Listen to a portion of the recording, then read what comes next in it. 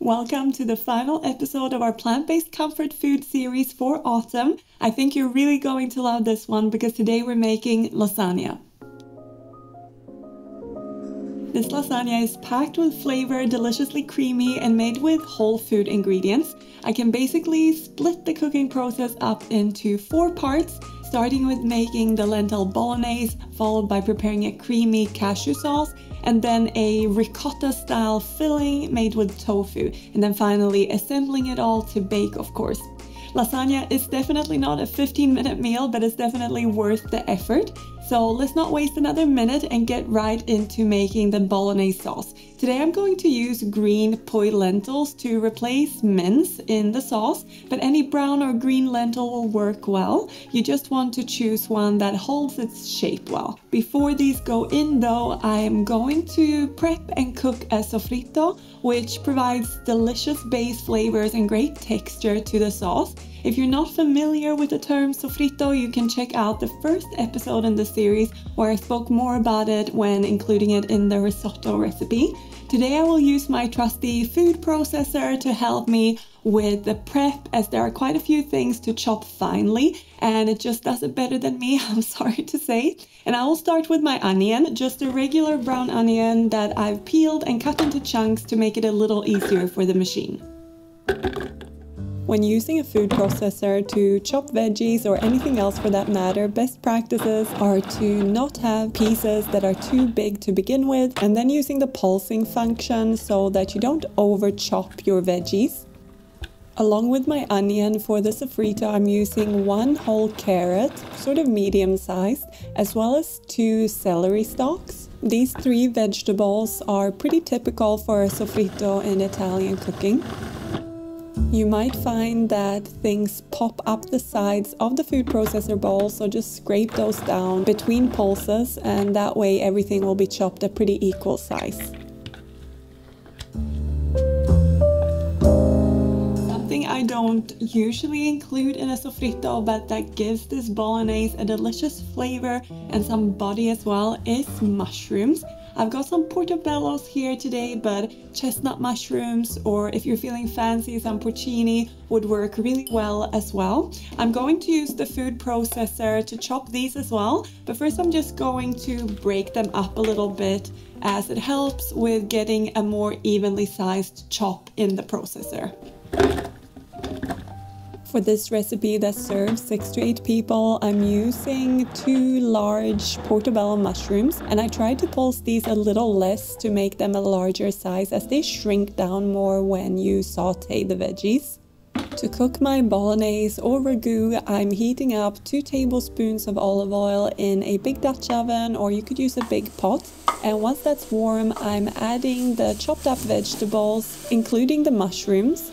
I always make sure to season with salt and stir that through whenever I saute anything like this. It just helps release the liquids and bring the flavors out of the veggies. The last ingredient for my sofrito is some garlic. I'm using three sort of large garlic cloves and I just chop them finely and then add them to the pot with the other veggies, stirring them through and making sure everything is well combined as I cook it all over a pretty low heat. So now these veggies need to sweat away for about 10 to 15 minutes just so that they soften up nicely and to allow the mushrooms to cook off some of its liquid. In the meantime, I will crush some of these canned peeled whole tomatoes. You could of course just use canned chopped tomatoes, but I've become a fan of these and it's quite fun to squish the tomatoes by hand actually.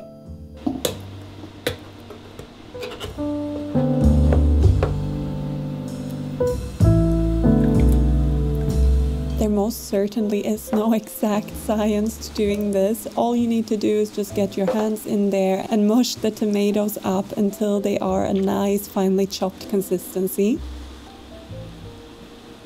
When the tomatoes are looking good and the veggies have cooked nicely, as you can see here, they're softened and they have shrunk in volume. That's when I go in with two tablespoons of tomato paste just to give the tomato flavor of the sauce more depth and I like to fry that off for a couple of minutes before I add in my chopped tomatoes.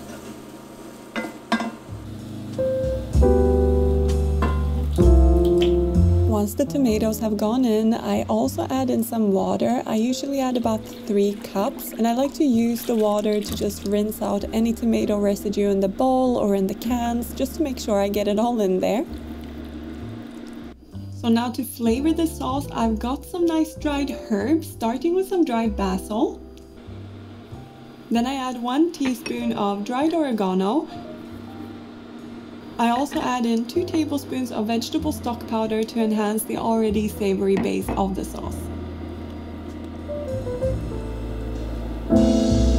And I will also pour in a couple of tablespoons of soy sauce as well as a little balsamic vinegar. These two will create a nice balance between them and give the sauce some more umami, making it deliciously savory. At this point, I also like to season with some black pepper and then I grab my lentils and rinse them off. I just do this under cold water and use my hand to swirl it around. In this process, you can also check that there are no rogue little stones or anything among your lentils. Then you can just add the lentils to the sauce and allow it to come to a boil.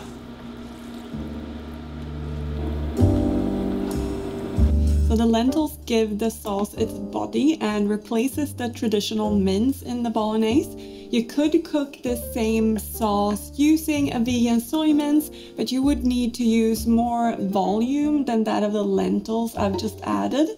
You'll also probably want to reduce the water content if using vegan mince, as the lentils will absorb quite a bit of liquid in the pot here and swell up in the process. Lentils really work very well in lasagna. If you've never tried it, I hope you will give it a go. The lentils I've got cooking away in here will need to simmer for about 30 to 35 minutes before it can become a layer in the lasagna, so it gives me plenty of time to prepare the other two fillings, if you will. But before I get to those, I want to thank Squarespace for sponsoring this video and tell you a little bit about them. Squarespace is an all-in-one website builder with lots of great tools to create a beautiful and well-functioning website without any prior knowledge of coding or website building. Their Fluid Engine design system offers great customizable templates that will suit your style and brand. For example, they offer great blogging tools which allow you to share your stories, photos, and videos as well as your posts as you wish. You can also use Squarespace to set up your own online store whether you sell physical, digital, or service products. I use Squarespace for my online photography portfolio and really enjoy how easy and intuitive it is to use the drag and drop technology to bring my creative ideas to life. So if you're thinking about creating a website for your project, check out squarespace.com for a free trial. And when you're ready to launch your site, go to squarespace.com forward slash good eatings for 10% off your first website or domain. So let's move on to making the creamy cashew sauce now. In this lasagna, it will be replacing the traditional bechamel sauce and I'm going to give it a cheesy touch with some nutritional yeast and some seasonings. It's really easy to make using a good blender as I will just pop all the ingredients in here and then blitz it all until smooth. It's important to soak the cashews for this dough as it'll soften them up you could soak them overnight in cold water or do what I've done here and soak them in hot water for roughly 30 minutes. So let's drain these and pop everything in the blender.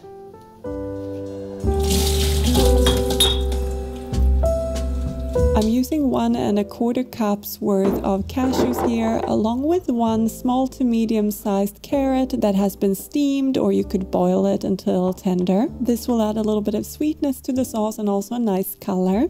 Next I'm adding in one and a half tablespoon of apple cider vinegar as well as one tablespoon of light or it can be called white miso paste which is great for adding savory flavor. For the cheesy touch, I'm adding in a quarter cup of nutritional yeast as well as half a teaspoon of garlic powder.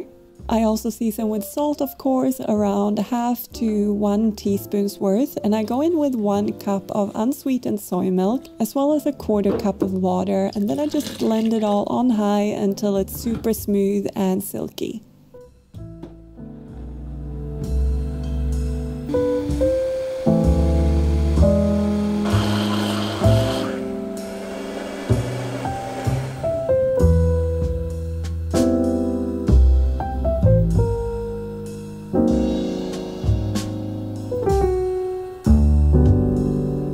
Give this lasagna even more body, I'm making a ricotta style tofu filling. Again, it is very easy to prepare using the food processor, and I prefer the processor over the blender for this as the blender would blend it too smoothly and we wanted to achieve that ricotta-like texture. So I'll just pop all the ingredients in here, starting with my block of firm tofu that I like to just break using my hands again.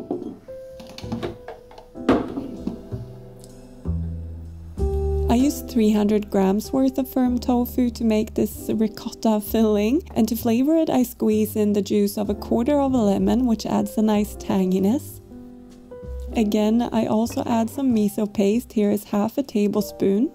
Next up, I go in with one teaspoon of garlic powder this time, and then a mixture of one teaspoon of dried oregano and one teaspoon of dried basil. And then I add in three tablespoons of nutritional yeast, again for the cheesy flavor. And I season with a half to a whole teaspoon of salt again.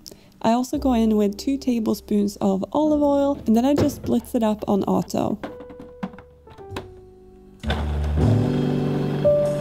As this mixture has quite a thick consistency, it's good to scrape down the sides of the processor bowl a couple of times as you blend. This way you make sure everything is well combined once you add it to the lasagna.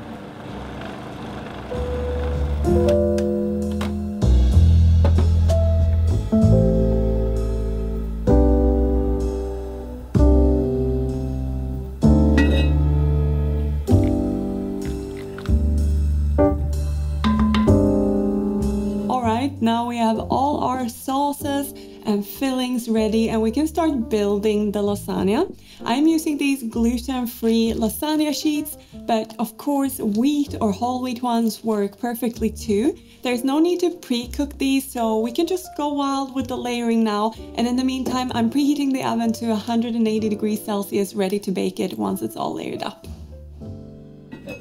I always start with a thin layer of the bolognese or the ragu at the bottom when layering up my lasagna. This makes sure the lasagna sheets doesn't stick to the bottom and that they cook through properly even from the first layer.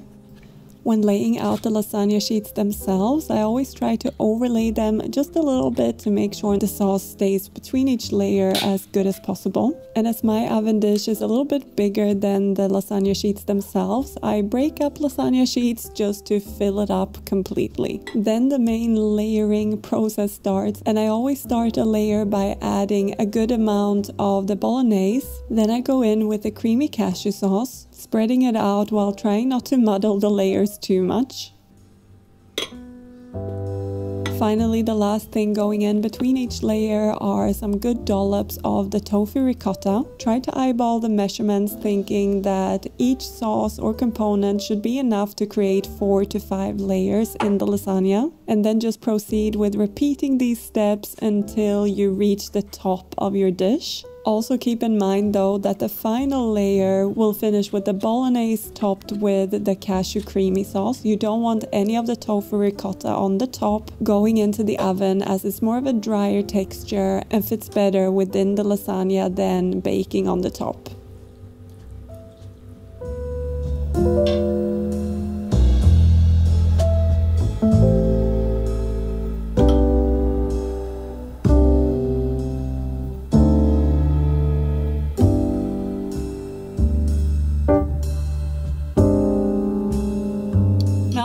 To bake this beauty, but before I put it into the oven, I will cover it with some tin foil. This will keep the moisture in the lasagna for the first 30 minutes and allow the lasagna sheets to cook through. Then for the last 15 minutes, we'll take the foil off to get that lovely darker color on the top layer.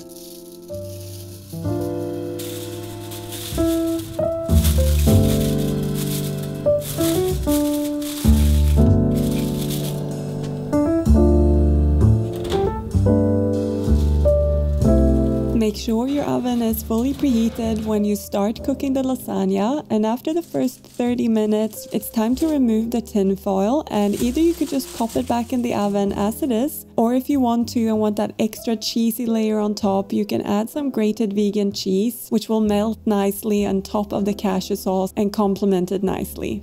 Then finish it off in the oven for 15 more minutes before you take it out and allow it to cool for maybe 5 minutes before you cut into it.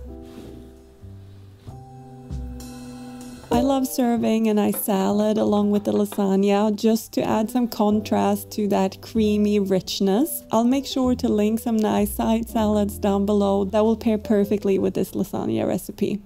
And to finish the lasagna itself, I love popping some fresh basil on top for visual interest and also because it's a really nice flavor, of course, that goes perfectly. So this is my vegan, mainly whole food now lasagna. It's full of flavor and such a great comfort food classic. I think I'm yet to meet someone who doesn't like lasagna. And while this isn't the most traditional version, I think it's a delicious alternative. I hope you make this tonight for a yummy Sunday dinner. And if you do, know that it keeps well in the fridge for a few days. It reheats really well if you just cover it uh, in the oven or the microwave, and you can freeze it too. I like to just cut it into squares and then pop them into the container for convenience. I really hope you enjoyed this video and our comfort food cooking series. It's been a pleasure making it for you and I look forward to seeing you in our next video. Thank you for watching. Take care.